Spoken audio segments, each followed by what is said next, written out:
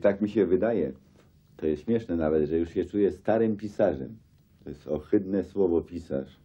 A stary to już w ogóle jest to koniec. Bo napisałem kilkadziesiąt już książek właściwie. Jakieś 28. Ja ładowałem te książki co rok. Regularnie, spokojnie. Obserwowałem, słuchałem, znałem ludzi, dziesiątki, setki ludzi. Czasem ktoś był fajny, czasem ktoś mnie zainteresował. Może jestem szakal, ale opisywałem.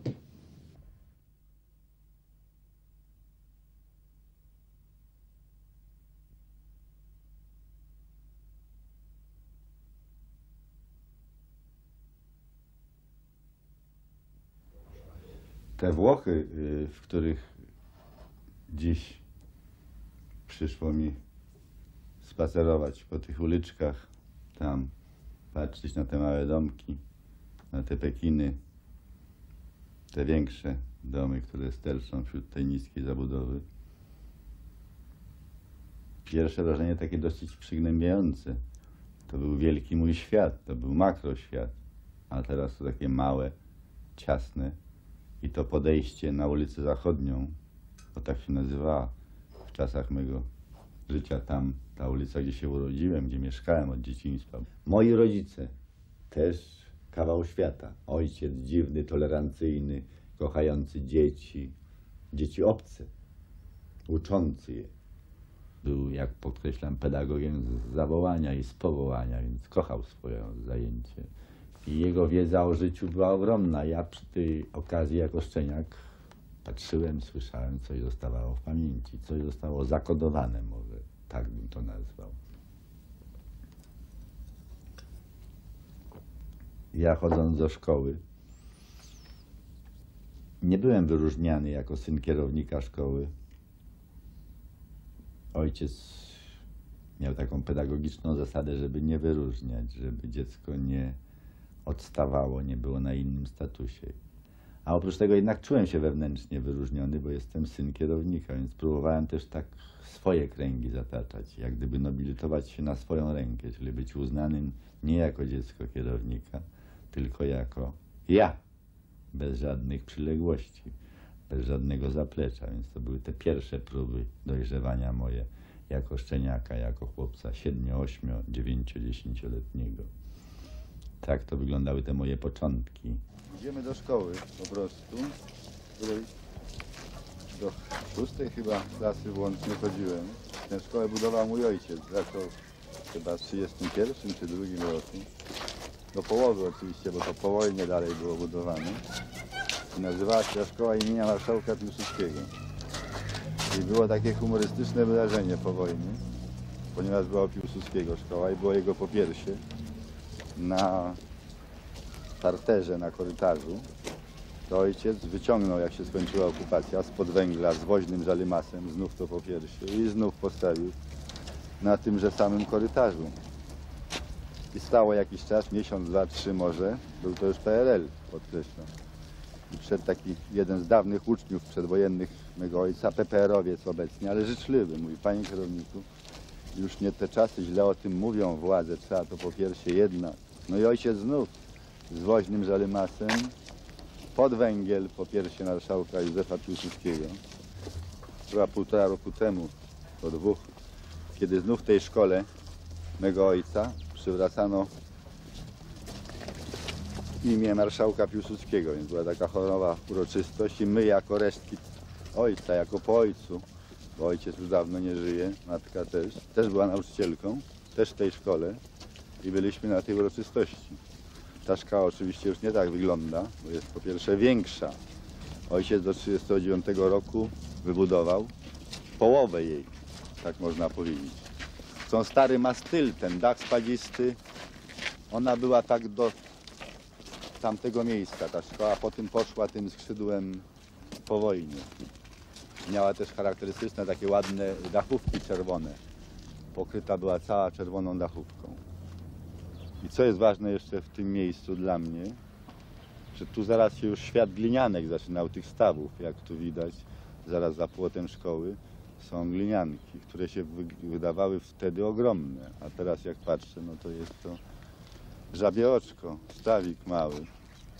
Nawet jedna z nich o parodio była nazywana oceanem. Teraz po latach patrzę te stawy maleńkie, ciasne, zarośnięte trzciną. Takie jakieś bajora. Wtedy wspaniałe. Zresztą głębokie były, tam się topili ludzie.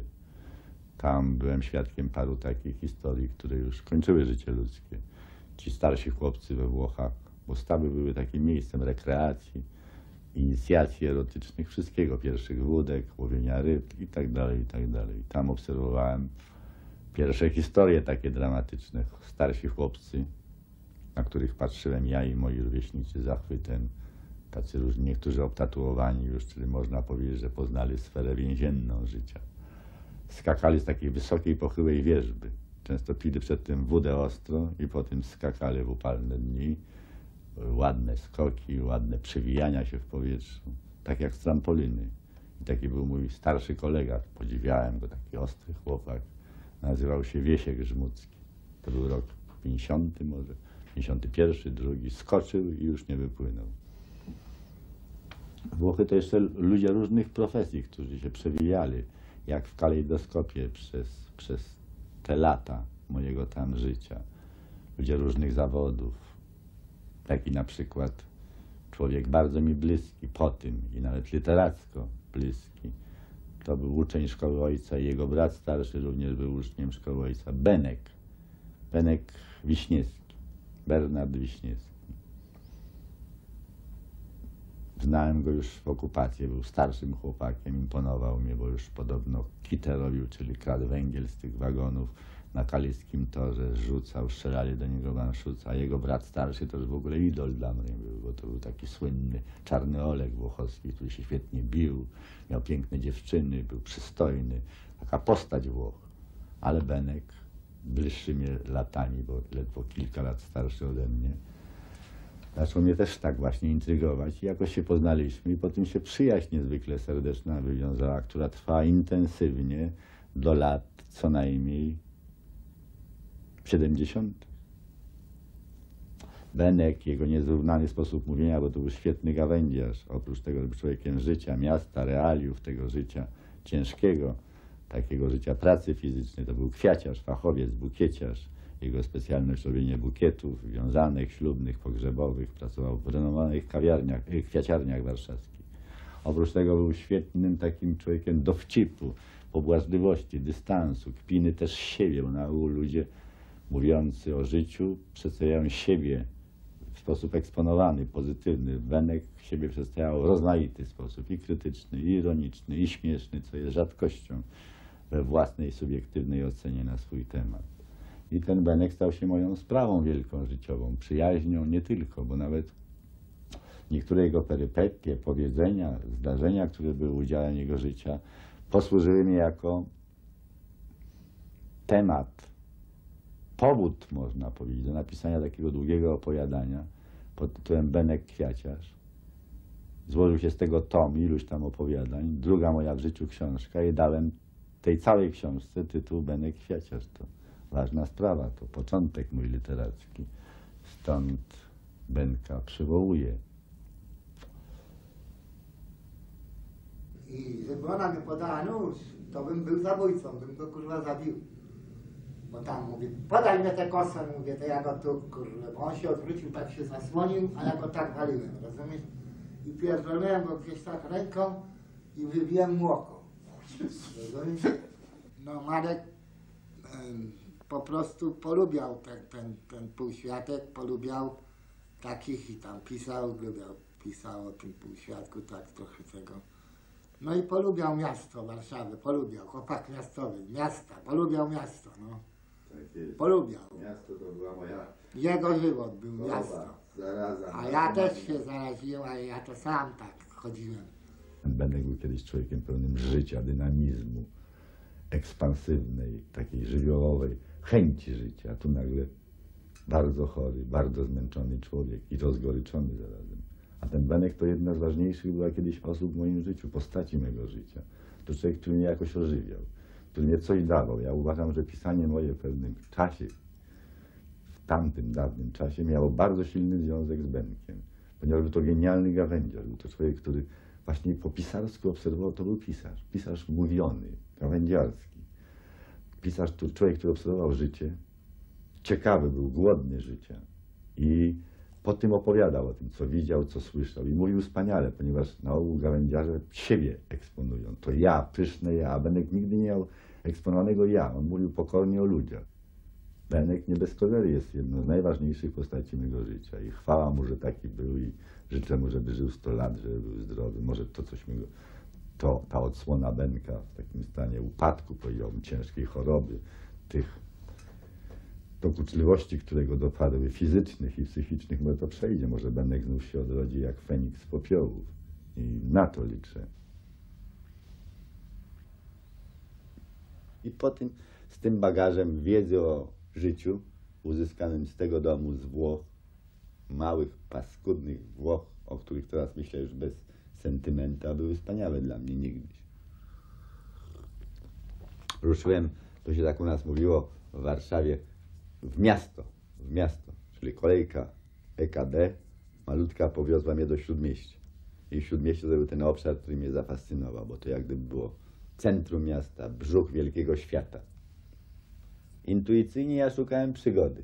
Dom, rodzice uczciwi, poważni, niekomunistyczni, ale zarazem zawsze jest bunt chłopaka przeciwko rodzicom.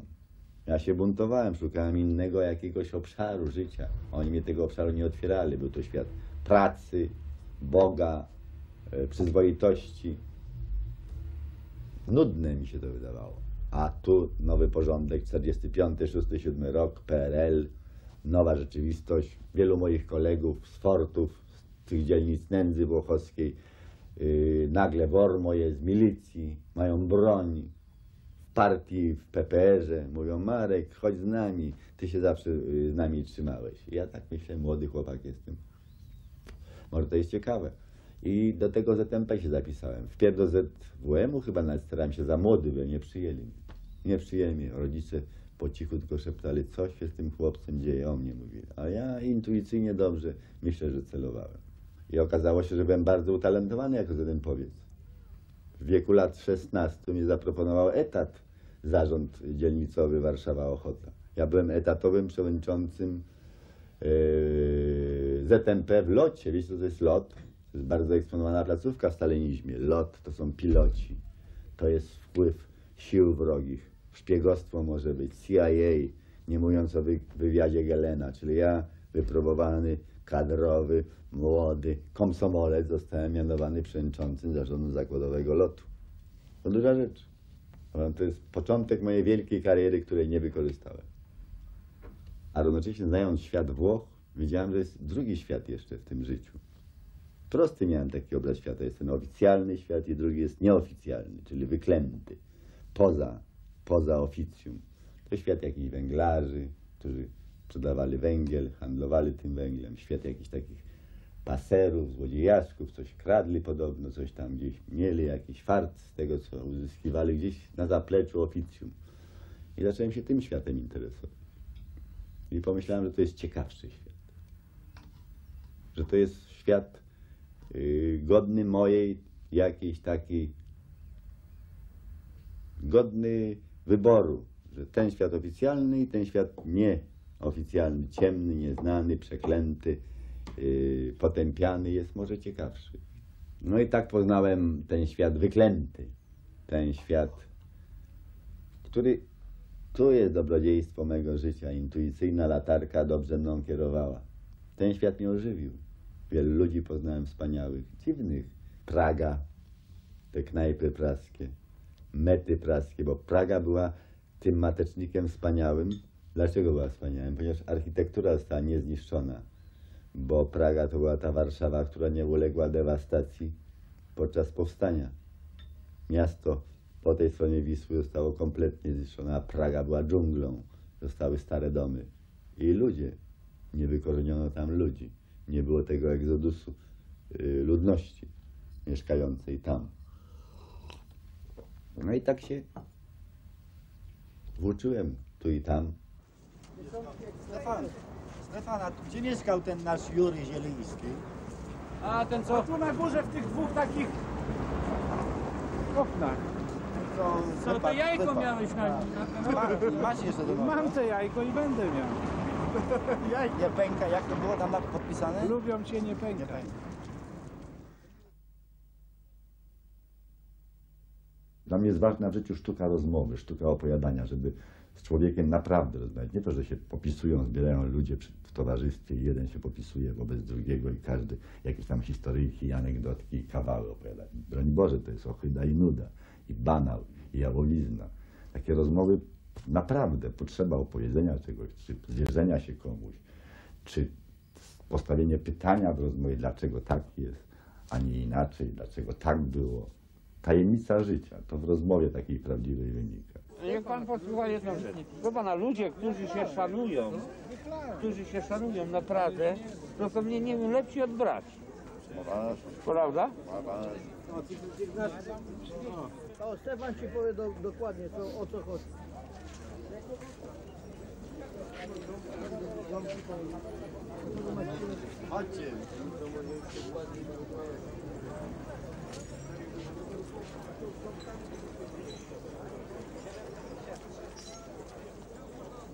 Ja tutaj pracuję przy fotelu. Tu jest kasjerka, przychodzi y, trzech mężczyzn, jeden prosto do mnie idzie i mówi tak, czy pana przezywają grubas? Ja mówię, nie, ale jestem grubas. Co pan się ubiera? Ja się ubieram, mnie tu biorą do poloneza, a ten tutaj, co stał przy stoliku, to mówi, To ten. stan wojenny może był? Nie, nie, wcześniej. To mówi to ten. No i mnie wiozą na Cyryla. Tam jest od razu do takiego pokoiku. Każą mi sobie usiąść. Wchodzi taka zapijaczona baba i mówi, co wy mnie kurwa przyprowadzacie? Jakbym, powie- jakbym wiedziała, że to ten fryzjer, to powiedziała, że to ten fryzjer. Jest pan wolny. Ja mówię, dobrze, ale ja taki kawał nie będę szedł. Trzeba mnie odwieźć. Nie odwieźć. A okazało się, że tu sprzeciwka takiego kuśnierza zamordowali. I jakiś grubas tam coś tam było i wiesz. I ta wędrówka po tych miejscach, tak jak dziś na przykład, przypominam sobie te chodzenie wokół Polonii, tej martwej, dla mnie martwej, bo Polonia moja to Polonia lat 50., do roku jakiegoś 60 najwyżej, to była ta żywa moja Polonia. I ludzie tamtejsi, też spotykałem tam rojowisko ludzi wspaniałych, dziwnych, każdy był jakiś niepowtarzalny, każdy był odrębny, każdy był wielkim księciem, każdy był wielkim panem, każdy był królestwem po prostu. Bo człowiek naprawdę to jest królestwo. Wielość, tajemnica, intensywność życia. Jeśli się o tym umie mówić, a jeśli się też umie słuchać, to już jest blisko literatury. To wtedy się coś takiego dzieje naprawdę. To u mnie tak było chyba. Nie mówię tu nic przesadnego. Tu próbuję właśnie coś o tej tajemnicy życia i pisania powiedzieć. I tego więcej i bliżej nie można określić. W tej Polonii właśnie, jak dziś chodziłem wokół tego gmachu secesyjnego hotelu Polonia, który w latach moich młodości kipiał jako kawiarnia i knajpa nocna dołek życiem. Tak bulgotał aż intensywnie, choć już system komunistyczny zaciskał swe łapy wokół, a ta Polonia jeszcze jak taka oaza, jak taka wysepka trwała. Mogłoby się dać, że tak jest oaza wolności, choć tak nie było na pewno, ale ci ludzie, wielość tych ludzi dawała właśnie szansę wolności, bo byli różnorodni, rozmaici. Wielość właśnie, nie unifikacja. Jeszcze komunizm nie potrafił tam zwalcować ich, tą swoją szansą ujednolicić. Ja nie myślałem, że będę pisarzem, tylko po prostu miałem jakiś powód do pisania. Jakieś miałem sprawy, które chciałem opisać i je opisałem. No. I tak się zaczęło. Myślałem ciągle, że jestem w ogóle hobbystą jako pisarz. Nigdy nie chciałem być zawodowcem. I tak chyba do 65 roku nie byłem zawodowcem. Byłem pisarzem y, z przyjemności takiej absolutnej. Nie miałem z tego ani za dużych pieniędzy, tylko miałem wielką przyjemność. Jak coś napisałem, to wiedziałem, że to jest moje, że nikt, żadna łapa tym nie steruje, że nikt mnie nie poucza. To jest mój mały świat. I do tej pory y, literatura, pisanie, karteczka papieru, bo ja piszę tradycyjnie, papier i długopis. Y, Nie używam ani nawet maszyny do pisania, już nie mówiąc o tych nowych y, wynalazkach obecnych, komputery, komputery i ekrany. Tego nie stosuję, nigdy nie będę stosował. Moja mała sprawa. Mam swój świat, karteczkę i, i, i ołówek czy długopis. I to jest mój świat jedyny, suwerenny. Nikt się w ten świat mój nie wpierdalał nigdy. Ja uważam, że tak. Być może jakieś były ciśnienia zewnętrzne, ale y, na ogół czułem się przy karteczce z ołówkiem czy długopisem człowiek wolny. Czułem się jako wolny człowiek. I to jest jedyna rzecz, którą sobie cenię. Marek ma jedną bardzo ważną dla y, piszącego, dla pisarza cechę. Mianowicie on potrafi słuchać innych ludzi. To jest niesłychanie ważne. Y, Często, y, najczęściej myślę, spotykamy wokół siebie ludzi, którzy bardzo dużo mówią, natomiast nie potrafią właściwie słuchać. Oni są jakby niezainteresowani tym, co inni ludzie mają do powiedzenia, prawda, o sobie czy o życiu, o świecie. Absolutnie innym człowiekiem jest Marek. On właśnie mm, z ogromnym zainteresowaniem wysłuchuje tego, mm, co, mm, co inni ludzie y, mówią. jakoś po prostu się interesuje ludźmi. Ja tu bym skromnie nazwał, tak jak powiedział stary pisarz, już nie żyjący, rozmowy z nim czytałem niedawno, pod koniec życia te rozmowy były z nim prowadzone. Y, Izak Baszewicz Zinger powiedział, że pisanie to jest przede wszystkim umieć opowiadać historię, znać ludzi, ciekawie ich, z pokorą ich słuchać, interesować. Trzeba mieć autentyczne zainteresowanie, autentyczną pasję do tych historii ludzkich. Każdy człowiek jest jakąś historią, coś powie. I to jest ta, ta rozkosz próby, żeby tego człowieka napisać, opisać go.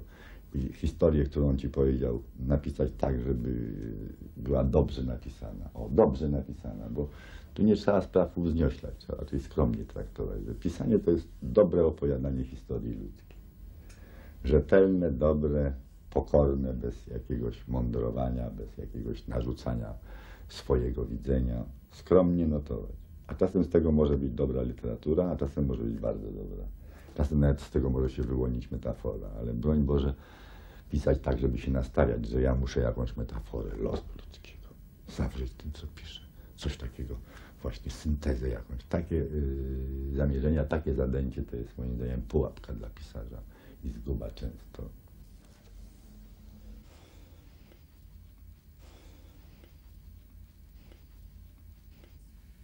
Z cenzurą to miewałem już wcześniej zderzenia rozmaite, różnego rodzaju. Kiedyś miałem takie zderzenie humorystyczne. To był 70 chyba pierwszy czy drugi, już nie pamiętam dokładnie. Wcześniej właśnie pisałem opowiadanie o ucieczce starców z domu starców. Z pewnych powodów starcy uciekli. I ścigała ich normalnie milicja, ale cenzura właśnie się przeciwstawiała. To opowiadanie miałem w twórczości drukować. Że nie może być milicji, takie wysiłki i redaktorów życzliwych, którzy chcieli, żeby jakoś ten tekst drukować. I moje co zrobić. I humorystycznie zmieniliśmy, że tych starców, którzy uciekli z domu starców, poszukuje straż pożarna, co jest absurdem. Ale ponieważ Polska tamtych lat to kraj aluzji, kraj rozumienia aluzji, tych zastępczych różnych przekładańców, to opowiadanie było przyjmowane należytym zrozumieniem, czyli sens tej straży tu był dla wszystkich jasny. No ale absurd. Kiedyś znów, pamiętam, opowiadanie było, nazywało się No gdzie jest droga na Walne. To było też tytułem po tym tomu opowiadań, 76, może 7. Te lata w każdym razie. I tam znowu takie powiedzenie chłopskie na Mazowszu popularne. Wyglądał jak pijany anioł. Czy jak ruski, nie, jak ruski anioł. Takie jest powiedzenie chłopskie, jak ruski anioł. Jakiś pijak się pokazał, to jakiś taki incydent był opisywany na wsi. Cenzura z tabu, Rosja. Nie ma mowy, żeby był anioł.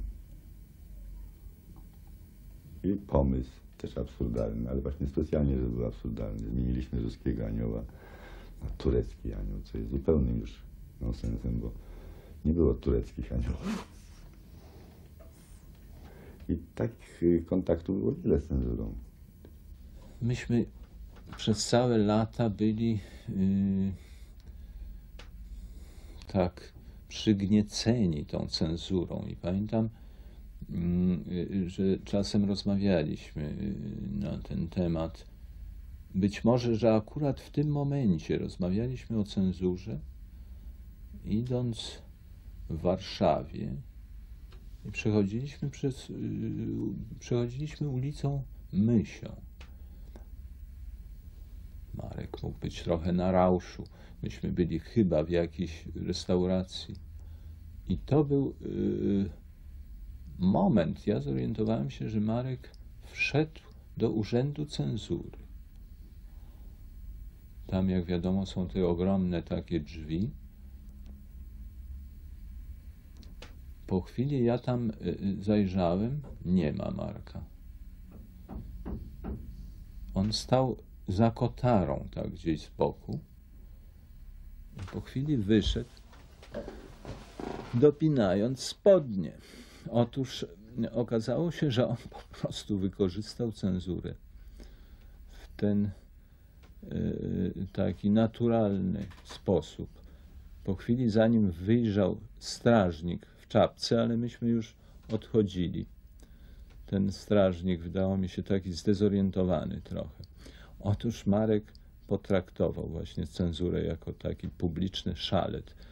I myślę, że to była właśnie taka zdecydowana, nietypowa trochę odpowiedź na te wszystkie prześladowania, jakie przez długie lata myśmy musieli znosić, zwłaszcza jako pisarze realiści opisujący tutaj sytuację w kraju e, przez dziesiątki, przez długie dziesięciolecia. Drukowałem pod pseudonimem y, w kulturze. Sobie taki pseudonim y, wynalazłem, Seweryn Kwarc. I Tam szereg opowiadań drukowałem. Też to była moja polityka, że tak powiem, jako pisarza. Polityka własna, na swoim podwórku, że nie chciałem jeszcze się zupełnie w kraju palić. Nie wydawano by mnie, jak gdybym drukował w kulturze. A ja liczyłem przede wszystkim na czytelnika krajowego. Dla mnie był najważniejszy czytelnik. Lubię, żeby mnie czytali ludzie. A tak uważałem, że drukując kulturę będę skazany na bardzo wąski odbiór, na bardzo mały zasięg czytelniczy, bo tak było w zasadzie. No, trochę emigracji, trochę numerów, niewiele wtedy przechodziło do kraju. I dlatego tak sobie gospodarowałem. Tam Seweryn Kwarc w paru opowiadankach, a tu przede wszystkim, tu właśnie w Polsce pod nazwiskiem, no, walcząc o to, żeby w miarę możliwości niewykastrowane książki wydawać. To znaczy ja mówiąc o tych swoich zabawach z cenzurą, podkreślam, że te moje ustępstwa to były ustępstwa, które ja przemyślałem, to znaczy one nie psuły moich tekstów, one, bo nadmierne uleganie cenzurze to jest oczywiste, mogłoby doprowadzić tekst do kastracji, to nie byłby już mój tekst, ale parę czasem ustępstw można było dać, więc tak gospodarowałem, tak się z tym pisaniem politykowało, powiedzmy. Jeżeli ja mogę być brutalny wobec, cie, wobec ciebie, to powiem dzisiaj nie ma w ogóle żadnej y, jakiejś łaski dla pisarzy, czy w ogóle Oczywiście, i bardzo dobrze. wiary. Ja nie wiem, czy dobrze. Dobrze, no bo no. co to, z jakiej racji ma być łaska ekstra? Czasem się zdarzy książka, to dobrze było jakby świetną książkę spotkała ekstra łaska, czyli ekstra uznanie. Ale tak, że pisarz, no co, wybrał sobie pisanie, niech pisze. Tak, ale Ale widzisz. z jakim sukcesem. Zresztą to jest dziwne działanie. Dobra, nie wbijajmy się, bo jest to bardzo niebezpieczny temat. Tak, ale Y, dziwne działanie jest pisanie. Książka, no i pisanie. No pisanie, no twierdzą niektórzy, że pisanie w ogóle jest chorobą. takim dla mnie jeszcze bardzo tutaj charakterystycznym, e, ważnym momentem, jeśli chodzi o to przeciwstawianie się e, komunizmowi, systemowi. To jest okres stanu wojennego i wówczas postawy Marka. On w końcu jako pierwszy zaczął drukować pod nazwiskiem w piśmie y, w y, Solidarności Mazowsza, prawda, ten y, tygodnik Mazowsze, który wtedy ukazywał się, zaczął drukować jego opowiadania, które później ukazały się w tomie Raport o stanie wojennym. I to był taki pierwszy zapis Pisałem na gorąco to, co się działo. I te opowiadania tak nie szły. Rzeczywiście byłem taki, można powiedzieć, jeśli nazwać swoją formułę życia wtedy pisarskiego, latający reporter. Po prostu chodziłem i czułem, że zapisuję. Znaczy nie to, że z ołówkiem, tylko że to, co się działo na ulicach, w życiu ludzi, w różnych sytuacjach i prywatnych, i w sytuacjach zbiorowych, to wszystko jakoś wchodziło mi do głowy i się w jakieś obrazki, można powiedzieć, układało. Takie błyski flesza, używając terminologii fotograficznej, oświetlały jakieś takie drobne zjawiska i z tego powstała opowiadanka w różnej formie, monologów, fabularne i inne jeszcze. I drukowałem je wtedy w takim piśmie podziemnym, które zaistniało też szybko wtedy w stanie wojennym, Tygodnik Mazowszy. Chyba w drugim numerze pierwsze opowiadanie, tam kilka opowiadań wydrukowałem. W innej prasie podziemnej też w kulturze paryskiej, bo to szło od razu też tam. Jakoś udawało mi się skutecznie wysyłać. No i drukowałem, drukowałem. Z tego potem złożono dwa tomy. Wydane w kulturze paryskiej, w Instytucie Literackim przy kulturze paryskiej równocześnie po jakimś czasie, ale krótkim, w podziemnych tutaj wydawnictwach, w nowej takie wydawnictwo było to najbardziej aktywne wtedy. No i ponieważ drukowałem pod nazwiskiem, to zaczęły je spotykać różne represje, o tym nie warto mówić. Ja myślę, że to y, jednak y, głównie raport o stanie wojennym sprawił, że ma, Marka tak na, ta władza namierzyła, prawda, że on był y, człowiekiem, stał się bardzo niewygodnym. Jak wiadomo, y, te opowiadania były potem przekładane na obce języki i to był jakiś dokument tutaj tego czasu, tego wszystkiego, co działo się w kraju.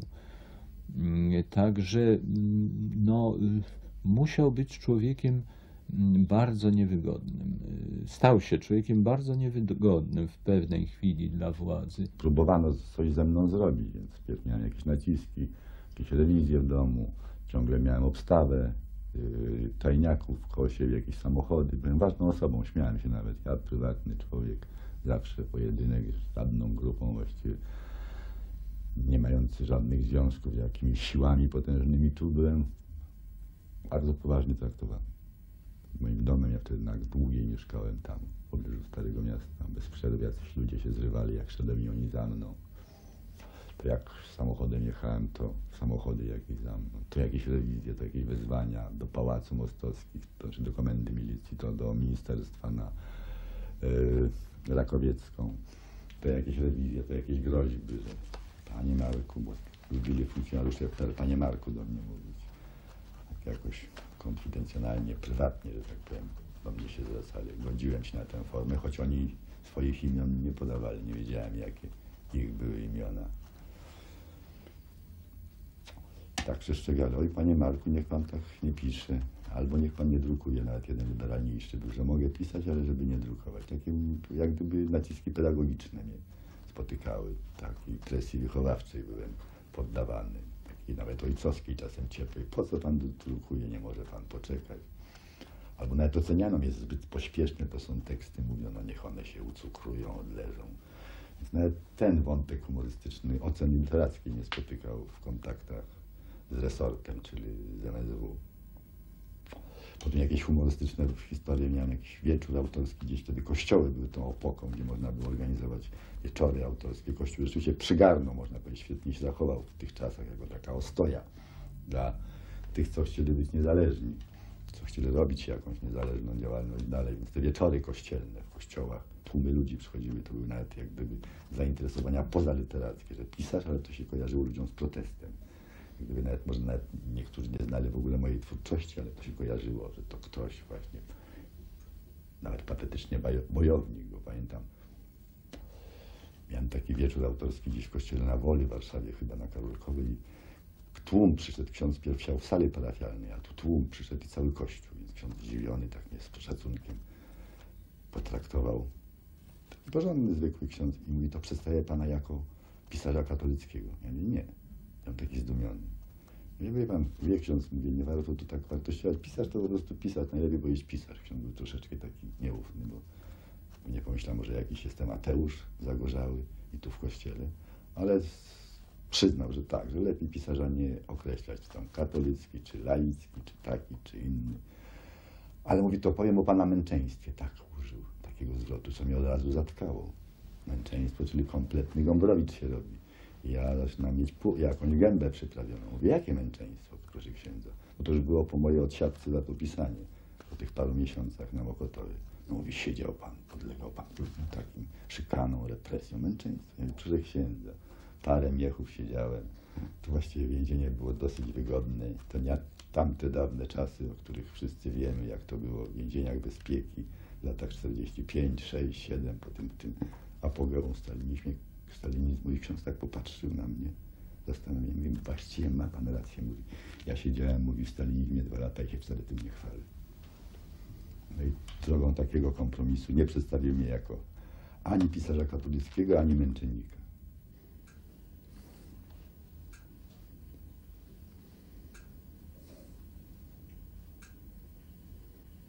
Ja nigdy nie robię niczego, nie chcę robić, przynajmniej tak bym chciał, żeby zostać takim stosunkiem do sprawy. Nigdy nie chcę być taki właśnie solenny, uroczysty, nie chcę żadnych kazań pisać, żadnych pouczeń. Ja sam nic nie wiem, właściwie tak jak wielu ludzi, większość ludzi, co ja mogę mieć jakieś recepty na życie, na, na, na, na wyjście z jakichś tam zapaści społecznych. Nie, tylko opisywałem to jako gangrenę życia ludzkiego w ogóle, bo życie samo już niezależnie czy jest pod komunizmem, pod niebem komunizmu, czy pod niebem demokracji, Bóg wie tam czego jeszcze. Samo życie jest jakieś dziwne i złe i straszne i czasem bezsensowne i czasem bardzo sensowne. Ta wieczna sprzeczność w życiu, te wieczne elementy niespójne, te siły przeciwstawne. To mnie najbardziej interesuje. A polityka dodaje jakby też wymiaru temu nieszczęściu ludzkiemu, bo nie dość, że sama egzystencja jest ciężka, trudna, tyle bólu, tyle strachu, tyle męki, tyle niepokoju, tyle rozpaczy, to jeszcze dochodzi to, co ludzie sami sobie gotują nawzajem, czyli jakieś tworzą systemy polityczne, które rzekomo mają szczęście wszystkim dać, a okazują się systemami, które dają wszystkim nieszczęście. Ludzi dewiują jeszcze bardziej, jeszcze bardziej ich niszczą, jeszcze bardziej deprawują. To chyba wszystko jest dobre studium wiedzy o człowieku. To, co ty pisałeś, to, co ty y, no, zostawiasz w formie dokumentu, to jest dla mnie bardzo ciekawe, bo ja, wiesz, tak jakbym miał przerwę w życiorysie. W 57 roku No tak. wyjechałem, i ciągle zostałem Polakiem y, w sercu. Byłem tam 30 lat za granicą. Tak. I nie wiedziałem, co tutaj się działo. Od czasu do czasu jakieś tam skrawki wiadomości dochodziły, ale przecież na bieżąco nie wiedziałem, jak to się naprawdę tutaj żyje. No i ty mi to dajesz możliwość, wiesz, od- odzyskania jakiś, jakiegoś stosunku, o tym naszym- do, stosunku do tych lat. I lepiej, potrafi mi to lepiej zrozumieć, wiesz, kim my jesteśmy dzisiaj. A co teraz? Teraz na przykład mam dobrą taką zabawę. Nie tylko zabawę, taką taką swoistą rekonstrukcję opartą wyłącznie na pamięci. Piszę historie różne o ludziach, o miejscach, o wydarzeniach, które dawno temu były. Już ich nie ma, tych ludzi, tych miejsc. I tu się opieram na wskrzeszaniu czegoś, co było, a tylko jest już właściwie w mojej pamięci. I to jest y, ciekawa bitwa z pamięcią, ciekawa próba oparcia się wyłącznie na pamięci. Powiedziałeś o mieście, pisarz miasta. To wyniknęło w sposób naturalny. Tu mieszkałem, tu się urodziłem, tu się nasyciłem tym życiem, tu korzenie moje jakieś są, ludzie, doświadczenia, to tak wyniknęło samo przez się. Nie będę pisał o tym, czego nie znam. Nie będę pisał o tym, co nie jest mi bliskie. To jest też oczywiste, to jest zgoła banał, prawda? A to, co teraz robię, to jest takie właśnie danie sobie sensu. Przez moją pamięć daję sens swemu życiu, że jakieś historie pamiętam, jakieś sprawy sprzed wielu lat, 30, 40. To dokąd sięga pamięć, tak to robi. To nie jest to, że ja sobie narzuciłem takie ćwiczenie, ćwiczenie pisarskie. To jest potrzeba, którą, rzecz, którą robię z absolutnej potrzeby teraz. Taki cykl. I jeszcze tu mam dobrą zabawę z formą literacką. Chcę, żeby to były jak najkrótsze historie. Taki cykl to będzie, kilkadziesiąt chciałbym, żeby było tych historii co najmniej. I forma jest tu bardzo ważna dla mnie. Muszą być to małe historie, dwa, dwie strony maszynopisu do czterech. Pięć to już jest absolutna góra. Żeby w tym zawrzeć pewne obrazy przeszłości, pewne jakieś wydarzenia, które można byłoby 10 stron, 20 i 30 im poświęcić, a właśnie je maksymalnie skondensować. Może to też jest związane z pewną niechęcią do wielosłowia. Ja to nie tylko mam z powodu własnych upodobań do krótkiego opowiadania, bo każdy pisarz ma jakiś swój gatunek ulubiony. Ja mam akurat krótkie opowiadanie najbardziej zawsze. Y, Tym się zajmowałem od początku właściwie. Dłuższe rzeczy, wielkie powieści w moim przypadku to są rzeczy po 100 stron góra. To są dla mnie już zgoła dzieła epickie w moim wydaniu oczywiście. Dłużej nie wychodzę. A te małe historie uczą bardzo szacunku do słowa. Trzeba opłukiwać każdą rzecz, trzeba słowa szukać, żeby przylegały do opowiedzianej historii. Trzeba zbędne słowa rugować, słowa chwasty wyrzucać. Taka praca, yy, bym nazwał, mam tu przyjemność takiego dobrego rzemieślnika, takiego może rzemieślnika precyzyjnego, który pracuje nad małymi rzeczami. Może to jest nawet trochę jubilerskie, czy szlifierz. Szlifierz to tak mnie podoba się jako określenie diamentu. Oczywiście to nie należy tego rozumieć, że ja taki próżny, że uważam, że to co piszę to są diamenty, tylko robota jest taka zbliżona, szlifowanie, żeby był blask, połysk, żeby była głębia. I to jest rozkosz takiej pracy. A też się to bierze z tego, że słowo się cholernie ostatnimi czasy, nie ostatnimi już wiele lat, jest taka dewaluacja słowa. Słowo jest takie sprostytuowane. Słowo nic nie znaczy. U nas był bełkot i komunistyczny bełkot. Teraz obserwujemy bełkot tej demokracji młodej, nowej, rodzącej się. Bełkot retoryki, słowa bez odpowiedzialności, strugi słów, strumienie słów. Po prostu płyną, płyną słowa, które są jak woda. Jak woda, która nie ma żadnego ciężaru, tak można powiedzieć. To, co się mówi wodolejstwo, tak jest takie powiedzenie. Albo jest to taka rzeka bez ryb, te słowa, bo rzeka się kojarzy z rybami, z jakimiś stworzeniami, są duże ryby, małe ryby, a w tym gadaniu obecnym nie ma żadnego ciężaru, żadnych ryb. Te słowa się przelewają i śladu po nich nie zostaje. Więc wiem, że w pisaniu trzeba walczyć o, o wartość słowa, o, mieć szacunek dla słowa. Dlatego te krótkie teksty są dla mnie próbą, takim ćwiczeniem, szansą, szansą przywracania słowom ich wartości, ich znaczeń żeby słowo przylegało do rzeczy, takie marzenie.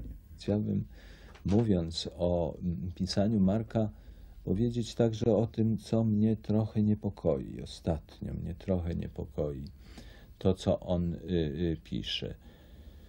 Wydaje mi się, że Marek zaczął mm, y, koncentrować się na takich drobnych obrazkach.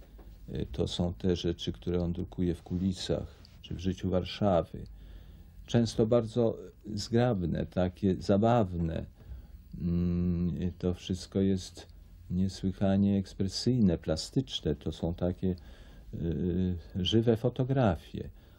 Ale moim zdaniem to nie jest mm, y, to nie jest na miarę jego możliwości i y, jakoś niepokoi mnie trochę to, że y, odszedł od mm, bardziej takich ambitnych prób, tak mi się przynajmniej zdaje ostatnio, od próby napisania powieści, czy jakiegoś y, cyklu nowel, czy, czy y, opowiadań konkretnych, z jakimś wyraźnym zamiarem y, pisarskim.